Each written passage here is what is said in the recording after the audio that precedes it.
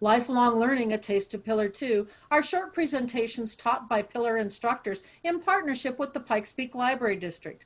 This program is made possible as the result of a grant from Next 50 Initiative, a nonprofit organization dedicated to funding innovative, mission driven initiatives that improve the lives of older adults and their caregivers.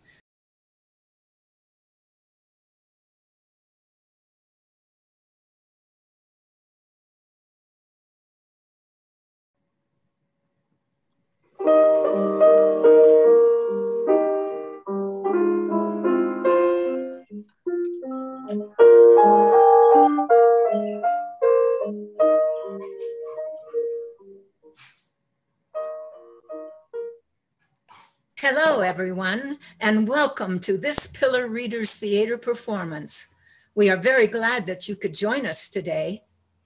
We are a part of the Pillar Institute for Lifelong Learning, the organization that provides limited opportunities to learn just for the fun of it. My name is Bev Turner, and I will be your host for today's program.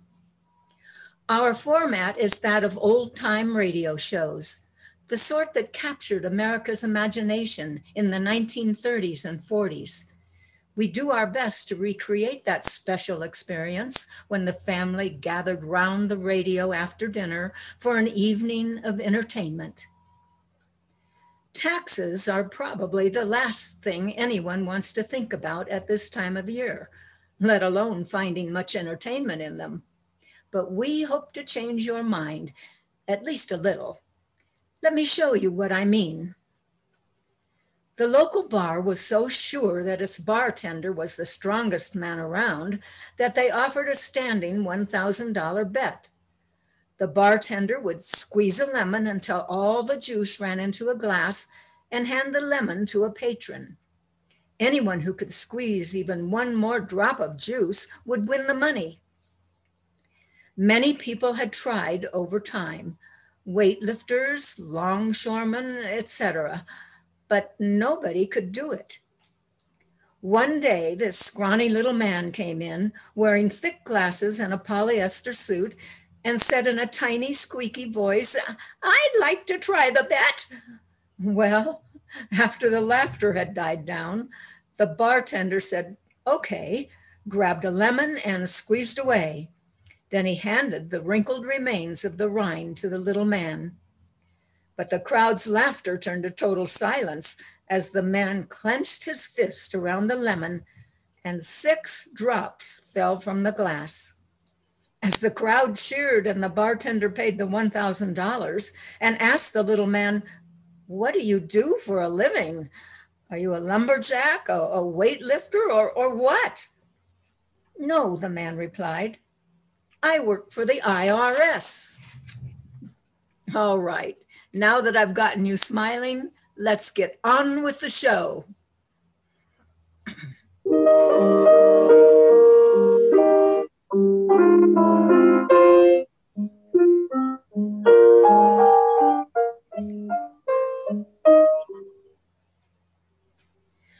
George Burns and his wife, Gracie Allen, are two of radio's most famous and successful stars. The iconic duo made over 250 radio broadcasts before making a successful transition to television. Burns played the straight man, and Allen played a silly, addle headed woman whose convoluted logic Burns was often ill equipped to challenge. Their 30 minute show debuted in 1934 and ran until 1950. Today, we present a segment from one of their last radio shows, The Tax Assessor, which was broadcast on November 9th, 1950.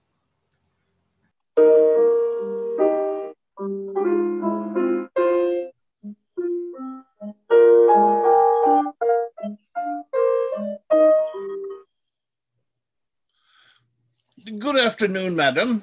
My name is Mr. Sweeney. I'm from the tax assessor's office, and I've come to appraise your furniture. Oh, do I have to bring it out, or can you come in and look at it? I usually go in and look at it. Oh, good. Come right in Thank you. and put your hat right here in the hall. It's a very nice house you have here. Thank you.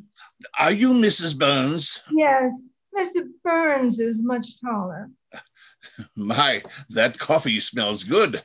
Oh, would you like a cup? I'd love it. Oh, all right. Oh, please excuse the looks of the house. It's hard to keep it straight. Children do have a way of messing up a house, all right. Oh, we have no children. Oh, excuse me. I suppose you have a cat or a dog. No, uh, if we were going to have anything, we would have children. I wonder if I heard right. Uh, This won't take long, Mrs. Burns. I, I brought your last, last year's tax with me. Oh, good. We could certainly use it in times like these when prices are so high. Uh, you don't understand. Oh, yes, I do. I was just saying to my husband this morning if they don't do something to cut down these high costs of living, we'll just have to get along without it. Mrs. Burns, you're having fun with me. Not unless my husband goes along. I, didn't mean that I brought your tax money with me. Well, uh, what did you do with it? I didn't do anything with it. The county has it. They need it because they have a $2 million deficit. Oh, well, let, just let them get a cheaper one. I think I'll be going, Mrs. Burns. I've interviewed a lot of women in my time, but never one like you. Oh, I still think you're having fun with me. and I still say, not unless my husband comes along.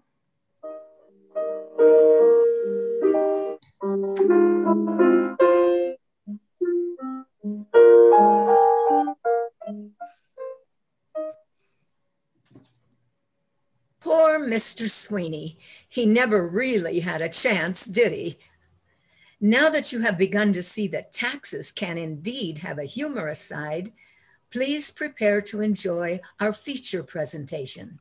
The Bickersons was a radio comedy sketch series that began on September 8, 1946 on NBC Radio, moving the following year to CBS, where it continued until August 28, 1951.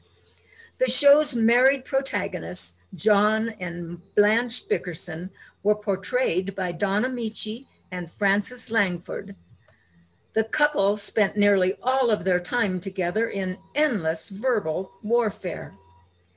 Among the many running gags were John's relentless snoring, Blanche's insisted, insistence that he get out of bed and do something in the middle of the night, and the mysterious disappearance of money that John thought he had. In this case, his income tax refund. Without further ado, the Pillar Readers Theater Players present The Bickersons in The Tax Refund.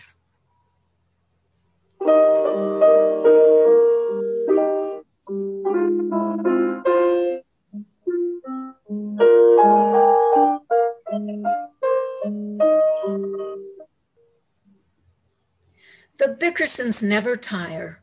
Poor husband John, a chronic insomniac and suffering from slugger's disease, struggles during an acute patch of his ailment, while Blanche Bickerson attempts to describe his symptoms over the phone to Dr. Hershey.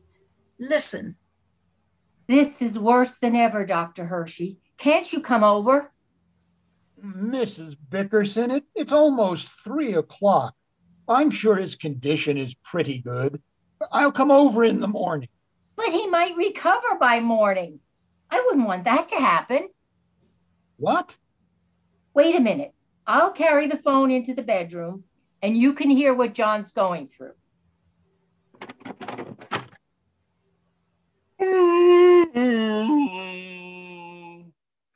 Hear that? Mm-hmm. I can't hear your husband on account of those fire engines. That's my husband. What? Mm-hmm. Incredible. Tell him to do that again. I don't have to. He will. Mm-hmm. Mrs. Bickerson, there's only one thing. Just a minute, doctor. Wait until I get the phone out of the room. Now, what were you saying? It's definitely a post type of condition, uh, and that roaring indicates he's a mouth breather. Maybe, but John isn't breathing through his mouth. What makes you so sure? I taped it shut with plaster. Oh, that isn't wise, Mrs. Bickerson. I'd rather you taped his nostrils. It's less dangerous.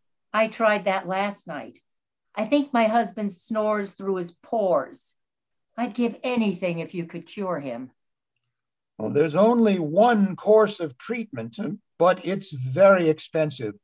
It'll be $200 down and $25 a month for 11 months, plus charges for extra. Sounds like buying a new car. I am. Good night, Mrs. Bickerson. Good night, Dr. Hershey. Maybe John's quiet now.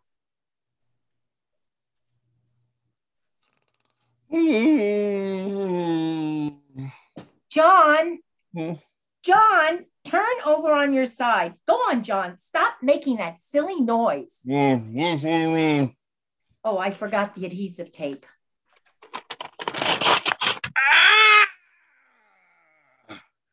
What is the matter with you, Blanche? Who taped up my mouth?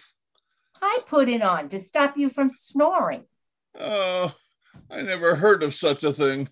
You had to go and tape on my mouth just when I'm raising a mustache. Pull out every hair. That's too bad. You've caused me enough suffering. I'd rather lose your mustache than lose my sleep. What's the matter with you, Blanche? What's the matter? I just can't stand it anymore, John. Night after night, I walk the floors and get into a state because you snore and brawl and snore and whine like a bulldozer. Uh, Is it any wonder I'm so irritable and ill tempered? If Dr. Hershey won't encourage me and try to improve my nature and buoy me up, who will help me? nature boy. Very funny. Oh, you're so funny, John. I'm not funny. And what about me? I haven't slept for so long, I'm a nervous wreck. I bury my head under the pillows to shut up your snoring. And when I get up every morning, I have a cramp in my collarbone. Uh, rub it with chicken fat.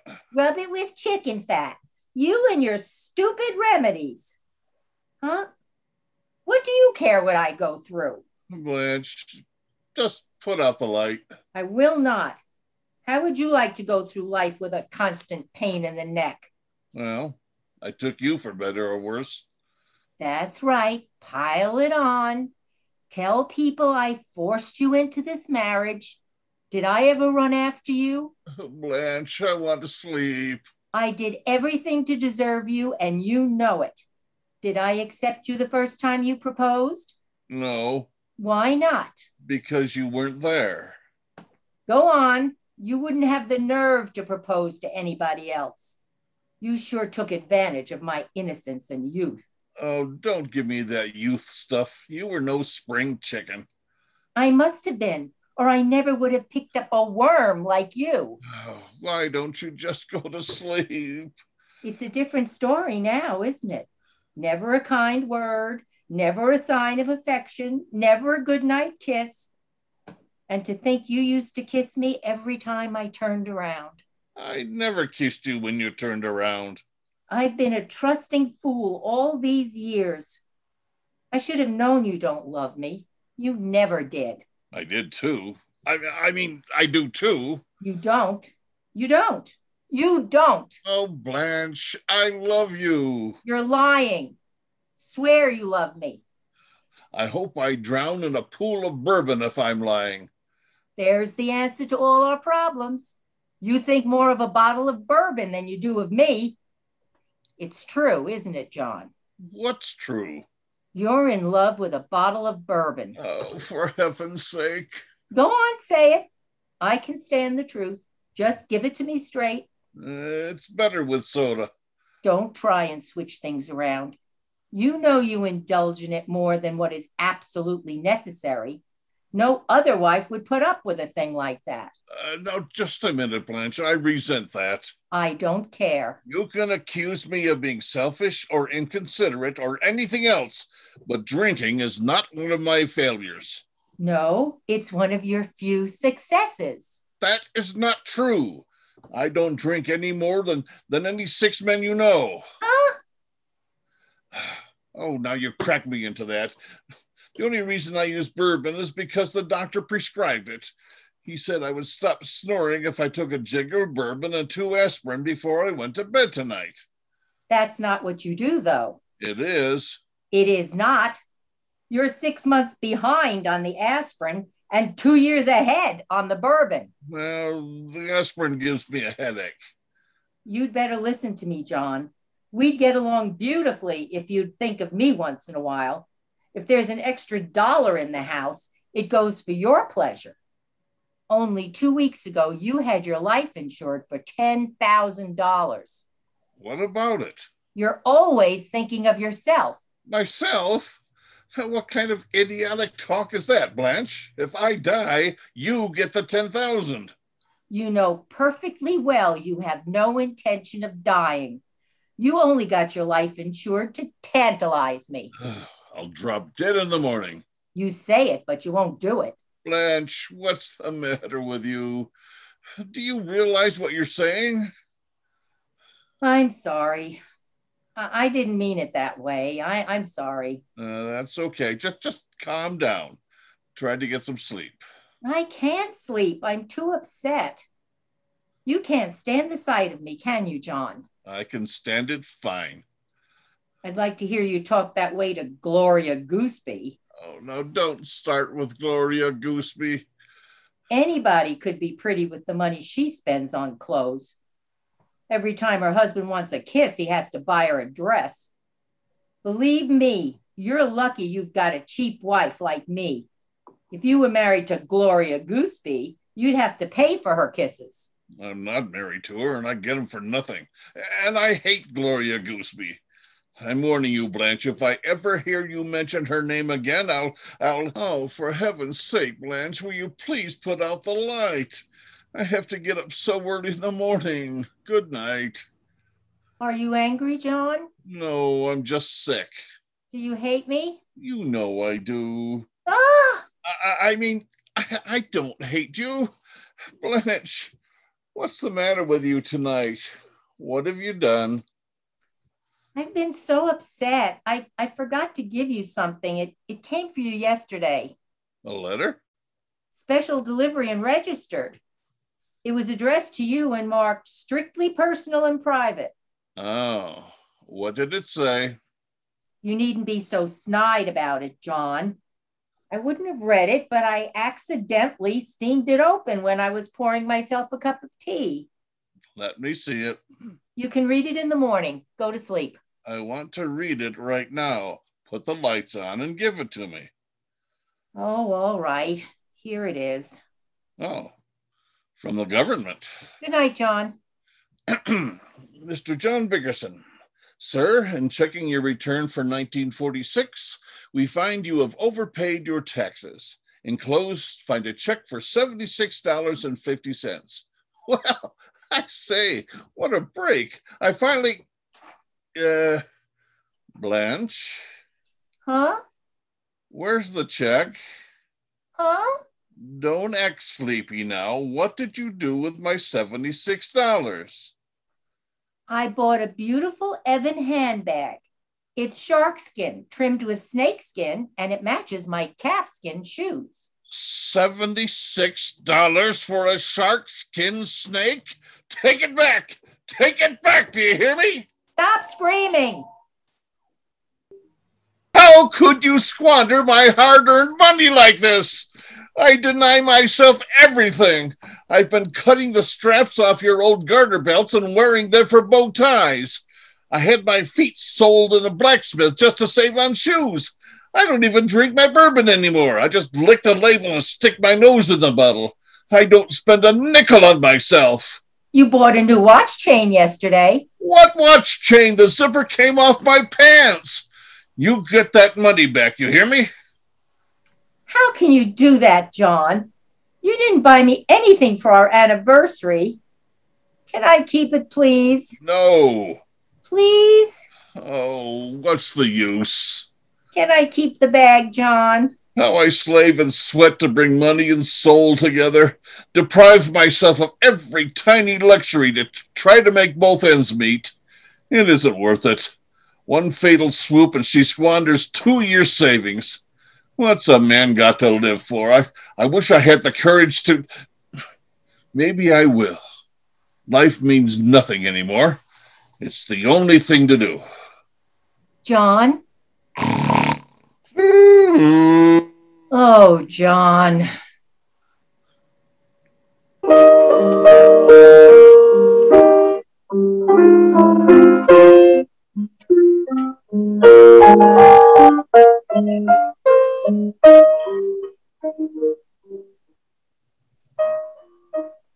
We hope you have enjoyed our presentation of the Bickersons as much as we have enjoyed bringing it to you.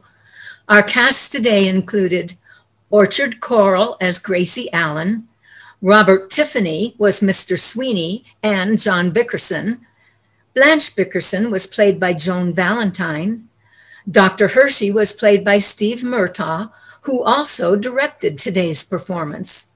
And I, Bev Turner, have enjoyed being your host. We hope you will be part, part of our audience for future Pillar Readers Theater performances. And until then, remember to keep, keep laughing. laughing.